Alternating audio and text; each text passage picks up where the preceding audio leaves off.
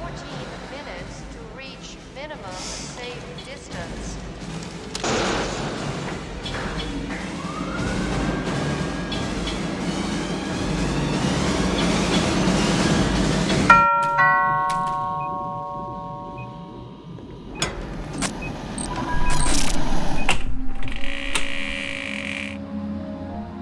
Hello, I'm David. Oh, hi. Would you like to talk about Jesus? Uh. Jesus Christ. Ah, yes, sorry. Yes. No, sorry. Oh no, I understand. Would you like this? uh, yeah, okay. Thanks then. My song. You haven't heard my song. Something about the city, something about the Jesus. And, and that's it? Yes. Okay, thanks then. Oh, one final question.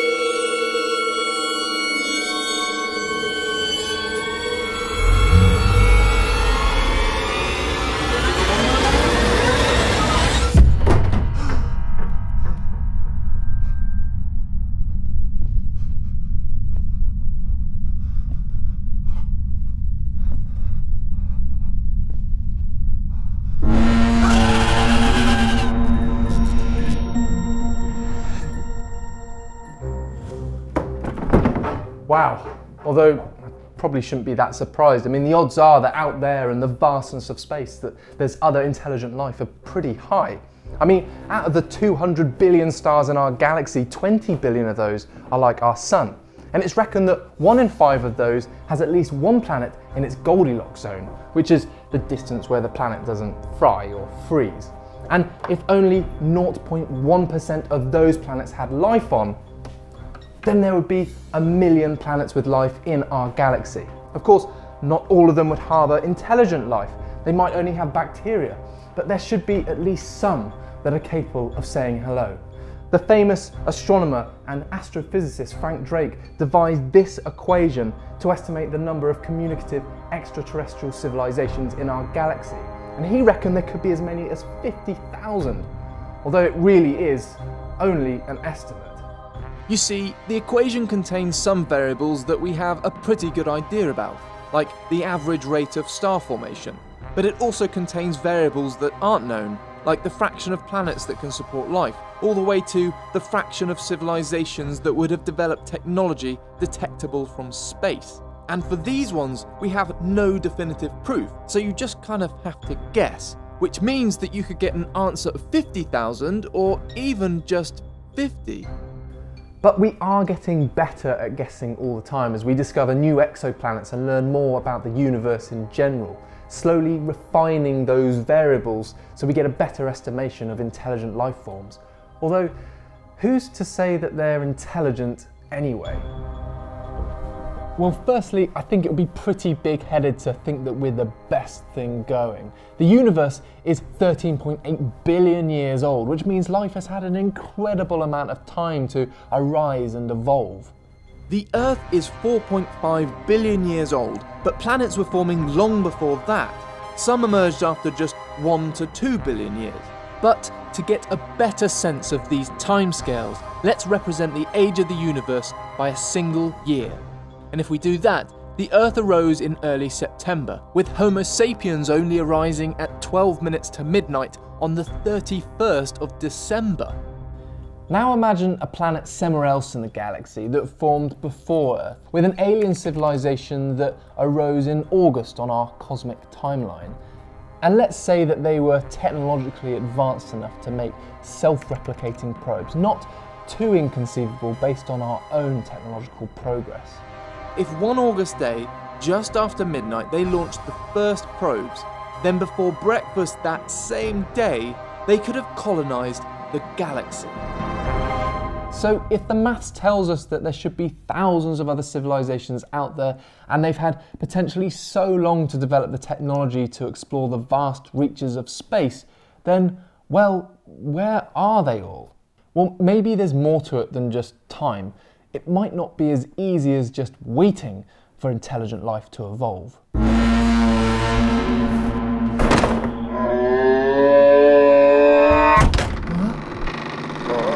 It might be that there are just too many hurdles for life to overcome before it's able to communicate with other civilizations.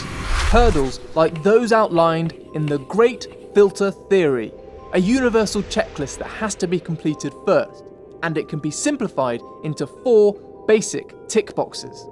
The first box to tick isn't life though, it starts way before that.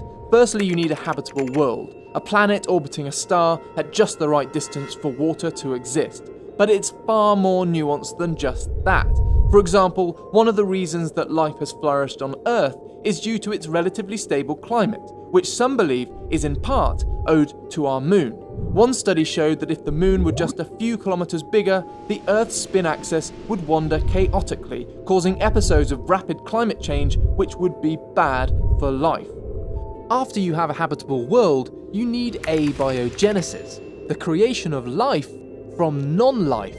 The basic building blocks of life aren't unique to Earth. Amino acids have been found in comets and complex organic molecules in interstellar dust clouds, and water in exoplanetary systems. The ingredients are there, we just don't know how they combine to create life. The development of technological civilization is the third checkbox, and even with intelligent creatures, that still might not be that easy. There are a few other clever species on our own planet. Dolphins, whales, elephants, and octopuses are among them. And yet, despite the huge variety of life on Earth, only one species has developed lasers, the internet, and this YouTube channel. Like and subscribe. The final checkbox is colonization and communication across space. And despite what you might think, it's not just a technological hurdle. Aliens might choose to remain quiet for a number of reasons. For example, it might be deemed to just be too dangerous to contact other worlds for the risk of coming across a more advanced and hostile species. According to the Great Filter hypotheses, at least one of these checkboxes must be improbable, otherwise, surely we'd see some evidence of life elsewhere in the galaxy. But no one knows which checkboxes are easy and which ones are hard. We can only hope that the hard ones are the ones we've already overcome, or the future for human colonization of the galaxy might be bleak.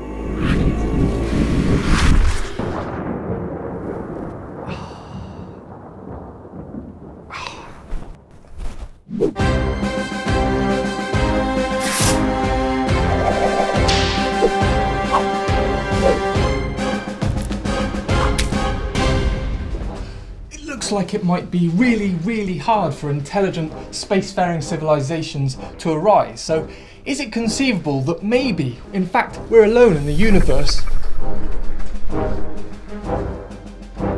I mean, what are the chances of our moon being just the right size, at just the right distance? A Goldilocks moon around a Goldilocks planet. When you look at our existence in this level of detail, it's incredible that any of us are here at all. And you can take this idea even further.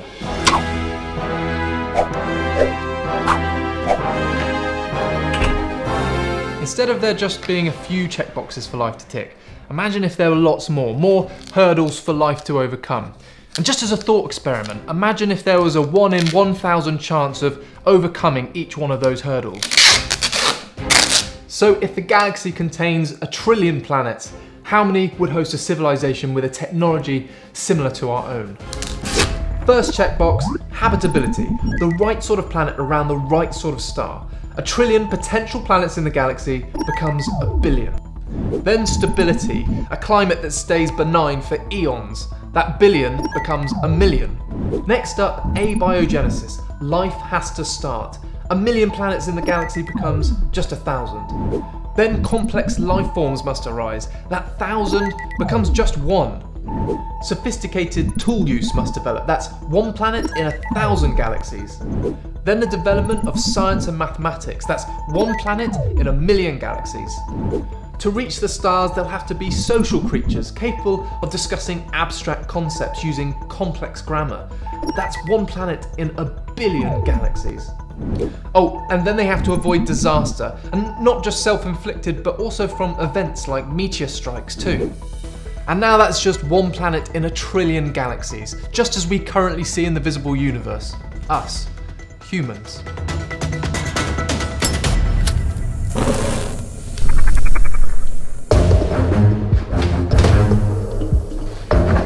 But if we ever do come into contact with aliens, I don't think we're going to be seeing any little green men or any big skinny grey ones either. Or anything organic at all. Space is so unimaginably huge that traversing it in the search of other civilizations would most likely take far longer than any alien's lifetime.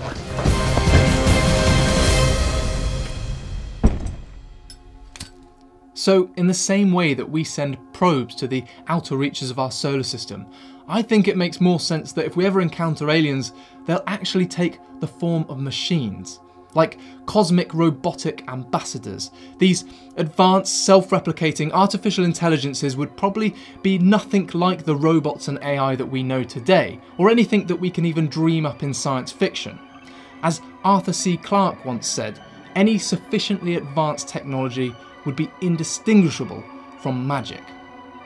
And once they've found us, it might be that these robots don't report back to their creators either. There might not be anyone to report back to. They could be the legacy of a failed alien civilization. And for whatever reasons, that might be the fate of many civilizations in the universe, even our own. One day in the future, there may be other barriers that are just too difficult for us to overcome. And if that day does arrive, then the robots that we've sent out into the cosmos may be the only evidence that we ever existed.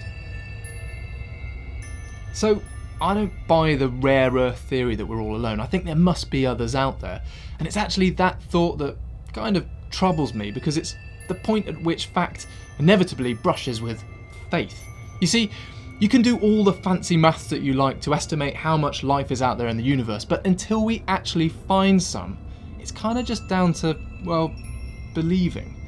And although I don't agree with much when it comes to religion, the one thing that we do share is the belief that we're not alone.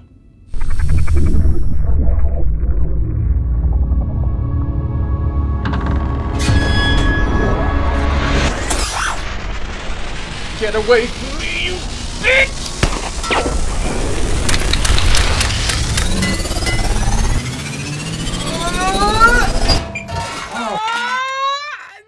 Sorry about that. I just noticed you'd left your door open. Yes, David! Yes. Cup of tea? Yes. Coming right up.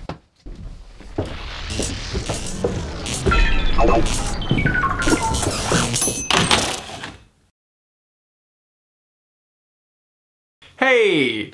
Thanks for watching. It's a big experiment for me, this one. It's the first time that I've tried to mix a short film with a science video and I really enjoyed making it and I really want to make more videos like this so I really hope you guys liked it. Before I go I want to say some big thank yous uh, firstly to my camera operator and director of photographer uh, Phil Beastall who's helped me out on a bunch of videos for this channel. A uh, big thank you to Richard Bertenshaw who was the assistant camera on this film and I've never worked with him before but oh my god Rich, I'll work with you again. That sounded a bit sexual. Uh, maybe I'll take that bit out. A big thank you to my friend Joe Simkins and Nicki Burgess and Carrick Smith and Matheson. Sorry, Carrick. I can never remember your surname. It's kind of double barreled and crazy posh. Um, but yeah, thank you so much, guys, for helping out on the shoot. It was a really, really long one. And finally, a huge thank you to the Vlogbrothers. Yes, John and Hank Green.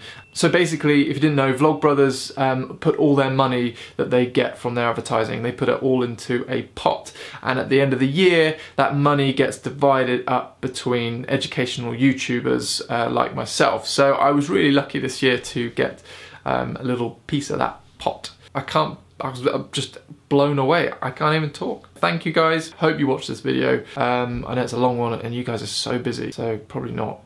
Oh man. Okay, well that's it. Um, I think I've got an eyelash on my face. Hopefully not there for the whole video. Thanks.